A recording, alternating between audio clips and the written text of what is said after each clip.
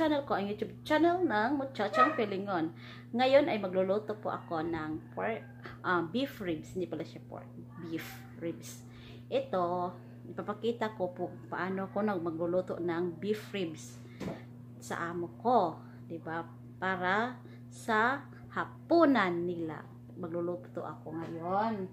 Ito, ala, um, ala Miss A. Kaya, pakita ko na kung ano yung mga ingredients ko, kung paano ako magluluto. Okay? See you. Ito guys, yung beef ribs. Mayroon pa siyang taba. Hmm. Hindi ko yan kunin. Ito, ilagay natin. Hindi ko alam ano ba itong tawag nito. Kasi hindi ko, kuryente ito eh. Kaya, pwede naman kayo gumamit ng kahit pwede din kayong gumamit ng kaldero o wala o wala kayong wala tayong kagaya namin wala akong ganito sa amin. Pwede gamit gumamit ng kaldero. Oh doon lang sa kung, uh, kung kahoy ang gamit pwede din doon kahit ano makaluto ka ng ganito. Ito, yan oh may taba.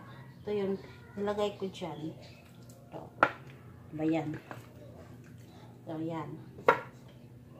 Um, diba to? Dapat naka-arrange ito ng ayos. Yan. Tapos,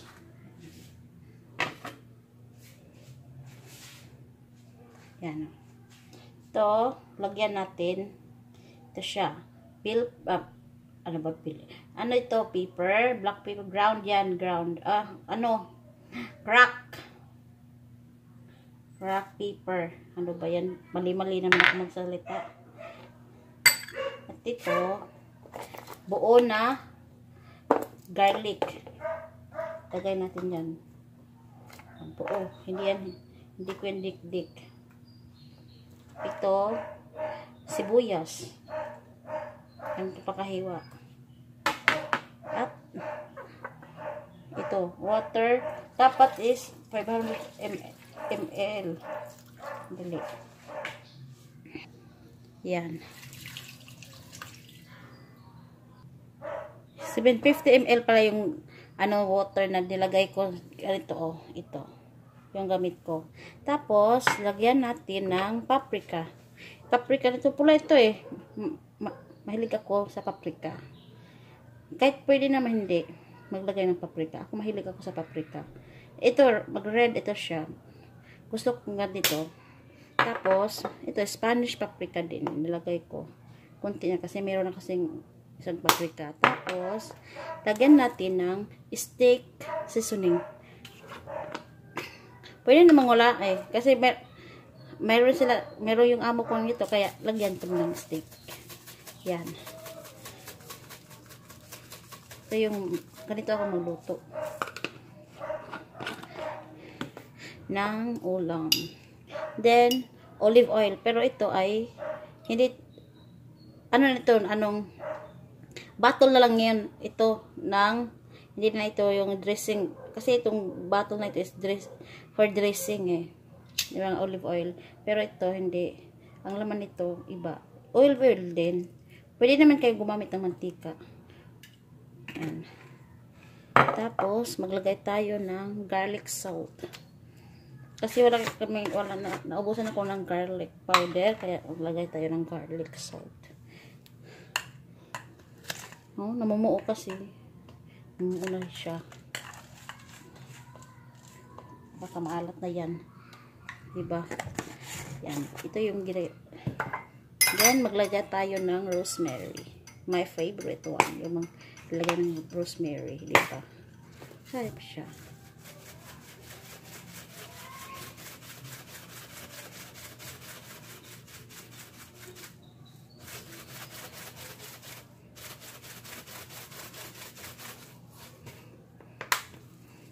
At sugar.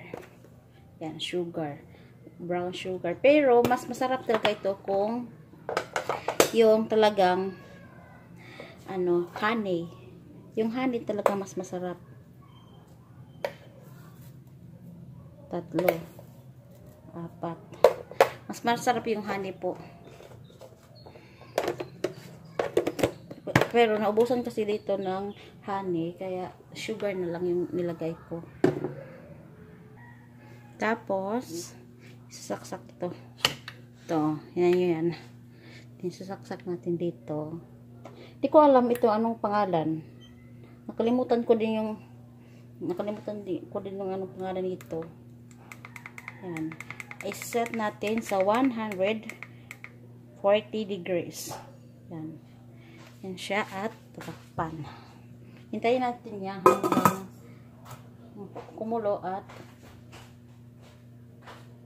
maano yung na, ma, mawala na yung water niya. Yung ano na lang yung kanyang oil. Kasi meron naman yung taba yung ribs eh. Kaya yun mag ano magpuprito. Kaya maghihintay tayo hanggang kumulo at maubos yung maano yung water niya, maubos. Hindi ko yan alam. Sanang basta mahubas yan, maano na. Tingnan natin yan, guys. Yan. Ah, bumaba na yung water niya. Na kumukulo-kulo na siya. Kaya hintayin pa natin ng hanggang wala na yung tubig niya. Guys. Ano ba yan? Konti na yung water niya. Palapit na, malapit na siya. And guys, para siyang piniprito ko na. Masyado. Ito, isa, inano ko, kinuha ko kasi hindi pala siya makasya pag babalik rin ko. Yan, yan. Yan, ito yung naging mukha niya. Yung, yung, oh, yun na, hindi ko alam sa Tagalog eh, hindi kasi masyado akong marunong sa Tagalog. Basta, para naman maintindihan ng iba. Kahit mali-mali yung mga sin- sinasabi ko. Yan, huminto na yung, ano yan, hindi masyadong maklaro. Pero, atin yung iset din ng hanggang 150. 150 degrees. I-add, mag-add tayo ng 150 degrees para maluto na ito. Opo. Ito na yun siya, guys. Ano na siya. Na, ano, ano na yung mga buto niya. Natanggal. Thanks for watching. See you next time.